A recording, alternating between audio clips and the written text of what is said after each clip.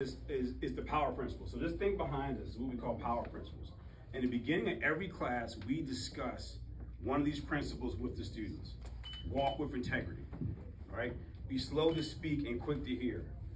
Always lend a hand to the needy. So these are principles that we start, before we even get into the solar stuff, we start with recalibrating a person's mind and their heart so the solar can stick.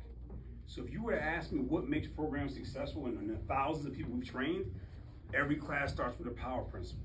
This is how we get that soil right so that we can pour in the seed to sow, right? So that's number two.